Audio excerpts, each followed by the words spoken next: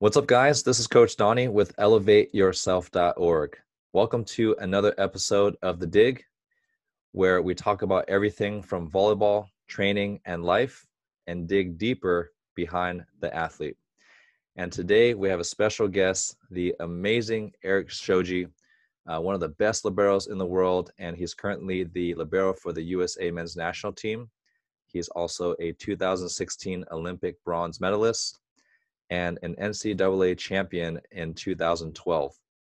Uh, he also has a great YouTube channel he just started where he does a series of reaction videos and professional volleyball analysis, which is there's not a lot of content out there. So if you guys want to know that pro perspective, I'll leave the link for his channel in the description box, which you guys can check out. So before we get started, let's do a volleyball warm-up exercise um, called the quick set. So it's just going to be a series of 10 questions and stream of consciousness, uh, whatever comes to mind. All right, you ready, Erik? Got it. I'm ready. Let's do it. All right. Favorite song? Uh, oh God. Oh, oh God. Oh God. um, landslide. Stevie Nicks. Favorite food? Sushi. Favorite music? Oh God. Um, pop ish. Amazing serve receive pass or amazing dig? Diving serve receive pass into the seam um, that creates a middle blocker attack. Awesome. Favorite non libero position? Setter. The go your go to snack. um, acai bowl, maybe just like chips if I'm having an off day. Favorite non volleyball sport? Tennis. Grew up playing it. Favorite movie? Ooh, favorite movie. What do I watch over and over again? I don't think.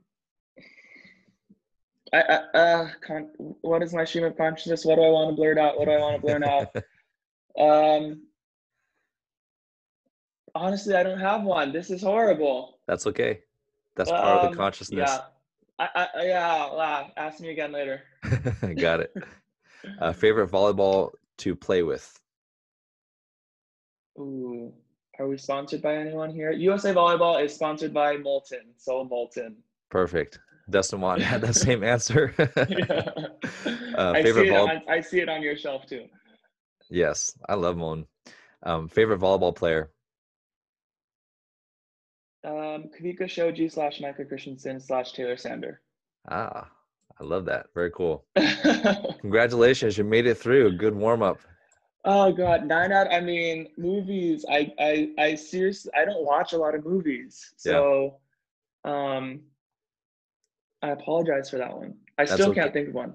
That's okay. You probably I mean you probably don't even have time. I mean, you're you're either studying film, you know, practicing volleyball, playing games. So you have a good reason not yeah, to watch movies. I'm more of a TV show guy and okay. um, movies. I don't. I, I I'm still stumped. I'm still stumped. So. You know what? I'm, I'm glad you mentioned that because for all the future people I'm going to interview, I'm going to put favorite movie slash TV show because you're right. We're in the the era of TV shows. So why don't you give us your favorite TV show? Ooh, what have I been watching recently? Ozark slash Walking Dead. It's on season 10 and I'm still watching that. Dexter and ooh, Survivor. Okay. Survivor, Survivor, Survivor. Survivor's number one, and then the rest can do whatever they want. Okay, perfect. There you go. All right. So if you can just tell us a little bit about yourself, like where you're from and what it was like growing up and so on. Yeah, well, I'm Erik Shoji. You already said that. Um, I'm from Honolulu, Hawaii. I grew up grew up there. I was born and raised. Uh, went to Punahou High School, class of 2008, and from there I went to Stanford University, graduated in 2012, and joined the national team in 2013. Became the starting libero. Was fortunate enough to get that job, and have been playing professionally ever since. I'm in my ninth professional season, my fourth in Russia, and currently um, in my apartment in Russia, just on the season grind right now. That's awesome. And how did you start playing volleyball? Well, my dad was the coach at the University of Hawaii for the women's team for 42 years. So I was basically born in the gym. I was raised in a gym. I was always there at practices, at games. I went on a ton of road trips, so I was always surrounded by the game. And I had a very big passion for volleyball from a young age. So I started young. I probably started competitive competitively when I was eight and just grew from there. So I got started in my dad's gym and the rest is history, I guess. So speaking of your your dad, the legendary Dave Shoji, by the way, um, if you guys want to follow, and uh, I actually have his book about the Rainbow Wahine. um, I actually bought it in. When my wife and I would go to uh, Honolulu every every year for our anniversary. Um, that's, that's, our honeymoon amazing. trip. Um, I remember when I saw that at the local Walmart. I mean, that's how big oh, volleyball oh, is there. I'm like, holy cow! They're selling his book at Walmart. This this guy is definitely legendary status. Uh, but yeah, awesome. huge That's awesome. at U of H. So, what was it like growing up with a volleyball coach as your dad? Well, I mean, he was the coach for the team, right? But he was also my coach in club. and just growing up, probably since I was seven or eight, like I said, all the way until I was 18. So it was good. I mean, for us, it was normal. I think a lot of people think it's so weird to have your a coach as a dad or a dad as a coach. And for me, it was just normal to be around that atmosphere. We're in a super sports family, super competitive family. So, you know, my dad was tough on us. He drilled us a lot. We had a lot of practice, a lot of reps. But at the end of the day, you know, I thank him for all that training because I think without it, I don't think I would be here today. So, you know, it was good. There were some tough times, obviously, but I think for the most part, it was a great experience. That's great. And we do have some volleyball parents listening in how would you give some advice to someone that is coaching their kid or does want their kid to play the sport they love because there's always that risk of pushing them away or creating that divide so coming from the other side you know what's your advice to the volleyball parents well this might sound a little corny but i think my parents both of my parents especially uh, my dad on the volleyball side really emphasized attitude and effort they're two of the controllables in our life and on the volleyball court and, you know, he's someone that obviously knew there's going to be good days and bad days. He saw it from his own team, he saw it from our team. But as long as we put the, the good work in, we had a positive attitude and we were great teammates, then we got mostly positive feedback. I think we never really got screamed at too often unless, you know, we didn't we didn't put in the work or we didn't try in a game or we didn't um, we weren't nice to our teammates. So it was all about the attitude and the effort. I think it's important to distinguish when your kid is maybe not engaged and making mistakes or fully engaged and still making mistakes. I think everyone makes physical errors, but I think as parents, you need to recognize the physical versus the mental. And I think my dad really did well with that. That's excellent feedback. Um, even though you might have view it as corny, actually not enough people are saying that. Like being a volleyball coach, it is really about the things within your control and having a conversation with Reid Priddy on my last interview, he also emphasized the same thing where, you know, I asked him, how do you have this incredible grind through four Olympics, going from non-medaling to being a gold medalist? I mean, all these amazing accomplishments. And he said he credits his parents a lot for praising his effort more so than the result of his performance. And and it's more than just like a, a movie like experience of like, oh, good job, son yeah. it really is the most successful lesson you can learn in life because that's all we have control over. You got to look over the result and focus on the process. Absolutely. And it's something that we still talk about on the national team today. So we're not a big team about, you know, getting on each other or yelling at each other. We just think it's it's not it's not the right culture for the people that we have. But you know, if I shank a 90 mile an hour serve, 80 mile an hour, we'll say, uh, versus not covering a ball because I'm not ready. It's two different kinds of mistakes. And I think that our team is really good at recognizing that one was purely physical. I was 100% engaged. The serve was just better than my reception on that point. And the other mistake was completely a mental mistake. I wasn't ready and it was more about my my effort in that play. Yeah. And that's awesome that the USA culture is like that both on the men's and women's side and hopefully that will kind of create this trickle effect for all of our youth coaches to create that culture all the way down there and i'm sure you'll have a lot of opportunities to talk about Fakel um, your russian team but i'm just curious for myself before i forget to ask the question the from what I know as like the stereotypical Russian volleyball culture is a lot of negative reinforcement, a lot of yelling and getting on you. Is that has that been your experience with playing in Russia for four years? You know, I feel like I've been pretty lucky. I think that there's a little bit of that, especially amongst the Russians. It's just honestly how they're raised, it's how they've grown up in the gym, it's how they respond. You can see guys get pissed and angry at each other, but they play so much better like that sometimes. Yeah. Um, I actually have an Italian coach Hmm. who is not exactly like that. I've actually never had a Russian head coach in my four years here. So I haven't had the full experience, I guess, but there's definitely a tendency to be a little bit more upfront, a little bit more negative towards mistakes. Um, but on my team, fortunately, it's it's changing. the The culture is changing. It, it's not that. It's probably a mixture of, you know, USA and you know old school Russian culture. But yeah, I, I feel like it's a really good balance at this point. That's really great to hear, and you know, not surprising from a country that values uh, exercise science and sports psychology because they, they were they were pioneers in those fields. And I also saw this trend with Lang Ping from the USA women's team. She Mm. really brought in this new ideology uh, to update kind of our our coaching methodology and and was the opposite of what traditional Chinese coaching, which is you know a lot of yelling. Culturally, that's acceptable, but to Yeah. bring the team in the new era was a totally different approach. So and they ended up winning a gold medal, which was awesome. So um, going back to your volleyball journey, um, how did you end up playing libero? And if you can be honest with us, was that your first positional choice? Ooh, well, I always grew up playing above my age group. So my brother's two years older, and we just grew up playing on the same team. So that basically just meant that I was the smallest kid.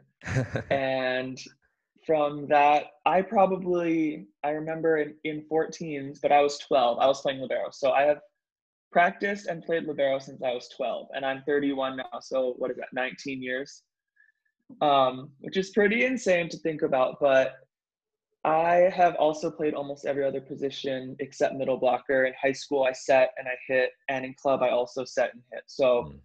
for me, I knew it was the position that I was going to have to be moving forward, considering my size.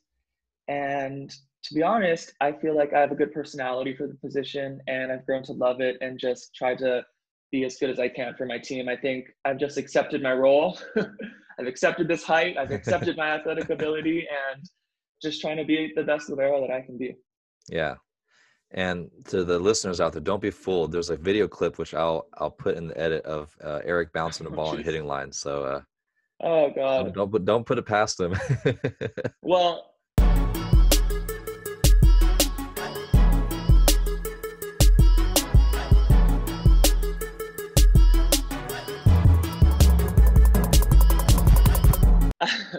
I will say I, I did love hitting and I loved setting. Um, I, I like to hit and warm up. I, for me, it's just like a good warm up to do before Yeah. games and just get some energy out. So I try to get some bounces in. Sometimes it's like hits the antenna back in the face, but we're not going to put those ones on mine. Yeah, don't worry. I don't, there's no record of those in my book.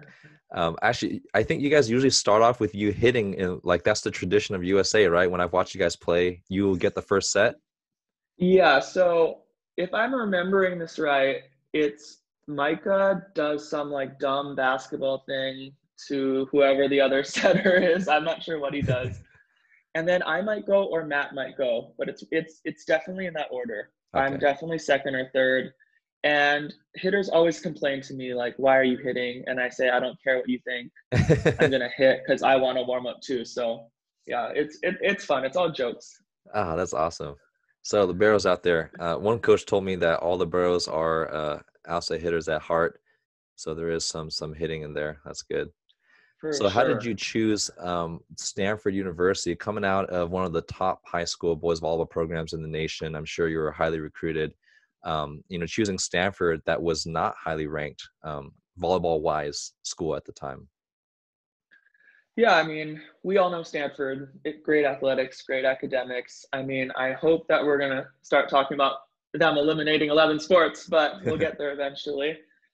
Um, yeah, I was recruited by a couple of schools. I act Stanford like slipped in pretty late. I just didn't know if I was going to get in and if I was just academically ready to push myself that much in school. I knew that I wanted to be a great volleyball player. I just didn't know if I wanted to be a good student and work that hard in the classroom. So once I kind of figured out, once I got in and was like, okay, I'm going to make this commitment, I, you know, it was a pretty easy choice. My brother was there. Um, he was a junior when I was a freshman.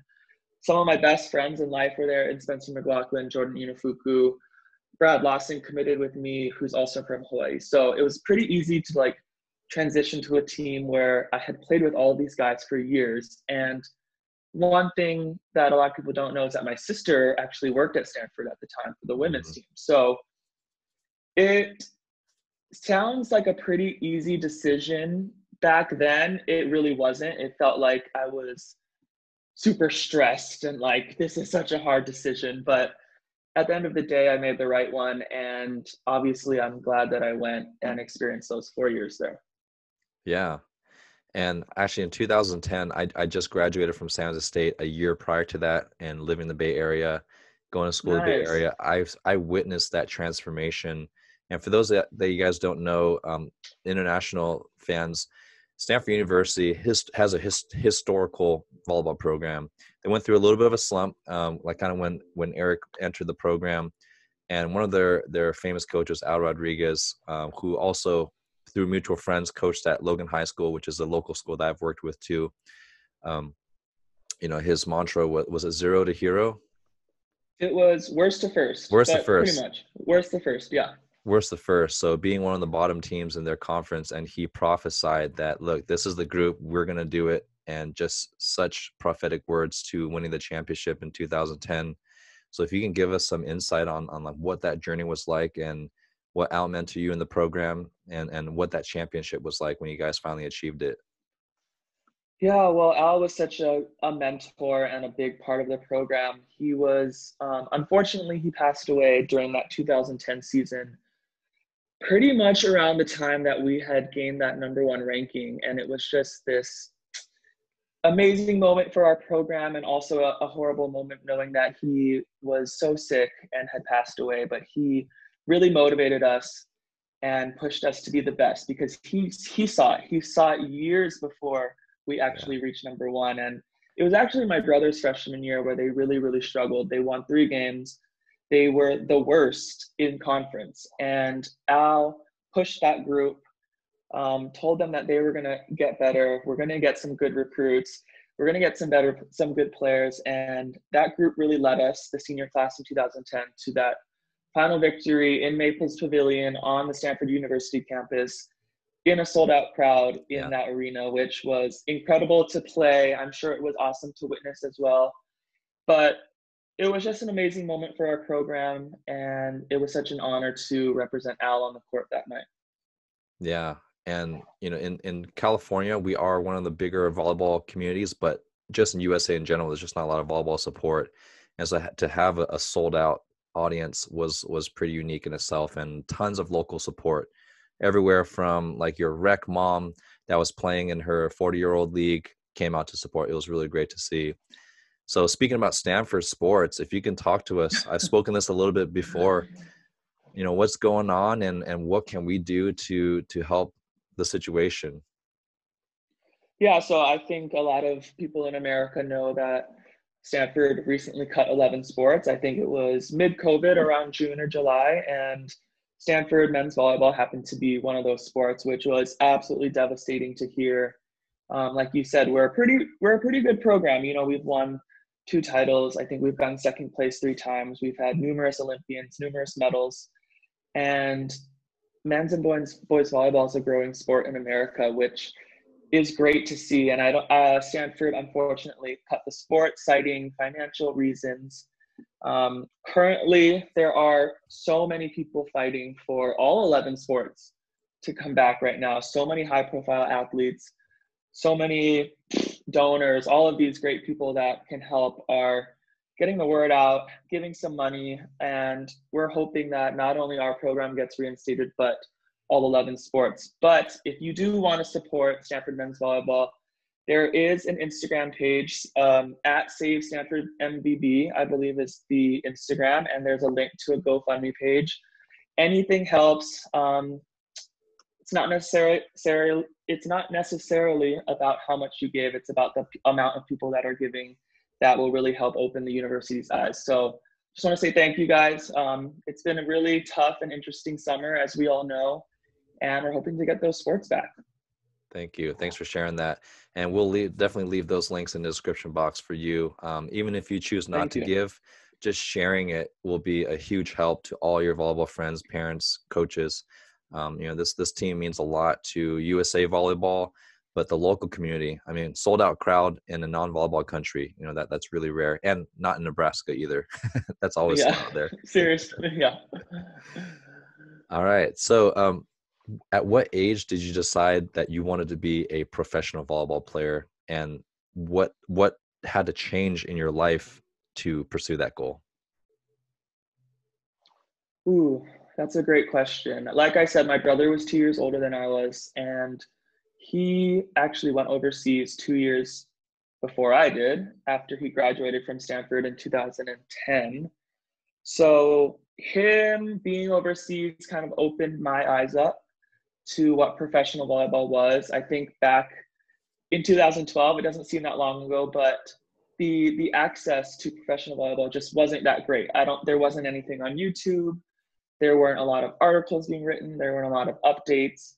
We knew of professional players, but it might have been on paid TV like once a summer that the USA team was on on television. So we just didn't really know what it was and what it meant to be to go overseas and be a professional volleyball player. So I'm lucky that Kavika went over before I did and kind of explained everything and also gained a pretty good reputation in Germany, which is where I actually ended up getting my first contract. So I probably decided I wanted to be a pro, I would say heading into my senior year of college. So pretty late. I just I just didn't know there wasn't a lot of knowledge out there about being a professional. And I think what needed to change was my ability to be on my own. I think I've just always been surrounded by friends and family and a great support system. And thank God for technology because I'm still able to have that in my life. But yeah. just being able to live and cook and drive and meet new people and go out for lunch with foreigners who don't speak my language was totally not me back in 2012. So that needed to change. And I'm so glad that I went because I've just had so many great experiences in the past nine years. yeah. Yeah. And if you can share with us uh, what countries you played in, what leagues, and then how you ended up in Russia, because that's a that's a, a small change from Hawaii.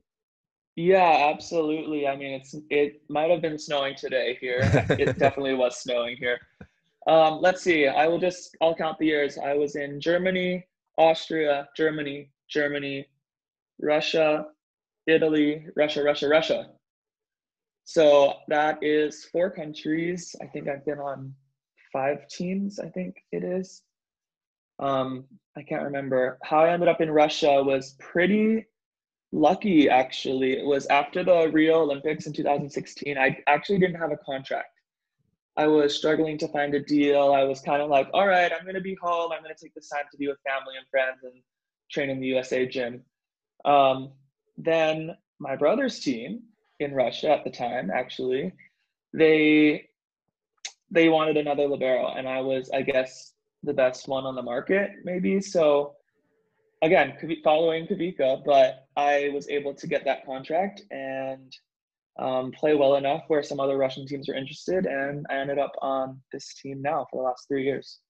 That's awesome. And for those who aren't as well versed in professional volleyball, it's really, really hard to get a contract as a libero, let alone on a top team in the world in one of the top leagues in the world you know most teams they just want to hire a gun like an opposite maybe one middle who can just serve bombs and or one outside hitter but a lot of pro teams feel like they can find a good domestic libero and the fact that the team values passing enough to hire some, you know a top tier libero which is really great. Uh, so that's that's really great to see and um, thank you thank you. and to see you know your your work and your effort being rewarded because you can grind the same way as an outside hitter or an opposite, but then not get the same recognition. Um, so, who, who are some of your role models in the libero world that you aspired to be like, you know, younger, and and who do you model yourself after? Ooh, great question. I mean, I I already explained I grew up around Hawaii volleyball, so there are some great liberos that played for my dad's team. Um, gosh, I'm going to name some old school, but Melanie Yamashita, she was more in the 90s. Melissa Villaroman was early 2000s when I really started to like be a libero. On the men's side, there was Vernon Podlewski, who was an All-American. There was Alfee Reft, who was an All-American, who I also played with on the national team. Um, I also obviously knew of Erik uh, Erik Sullivan and Rich Lambourne, who were the previous USA uh, Olympic liberos before me. So I've been lucky that I've had a lot of role models and all great people. I know all of them, and they're better people than they are volleyball players, which is something that I always look for. I think that's so important. Volleyball only lasts for however many years. So, yeah, I felt really lucky that I had a lot of role models and that my role models were student athletes because that's something that I really wanted to be growing up. And um, great people, great volleyball players, and great liberos. So I was really lucky to have that. That's awesome. And who is a, a current libero in the world that you feel inspired by, or you feel like? I know it's kind of tough because you are one of those top three liberos, but who do you feel inspired you. by, or who do you Ooh. feel like you're competing with? Thanks for watching my interview with Erik Shoji. If you want to find out which liberos inspire Erik, what passing techniques he focuses on, and how the weight room has taken his game to another level, then sign up for my Patreon linked below. Not only will you get to watch the remaining 30 minutes of the interview and all future episodes, you'll also receive access to exclusive volleyball and training content like my private blog, live Q&A sessions, monthly podcasts, behind the scenes footage, and more. If you enjoyed watching The Dig, you can watch the first 11 episodes for free in the playlist link below. Let me know in the comments who you would like me to interview next, and let's see if we can make it happen. Thanks again for watching, and we'll see you in the next episode.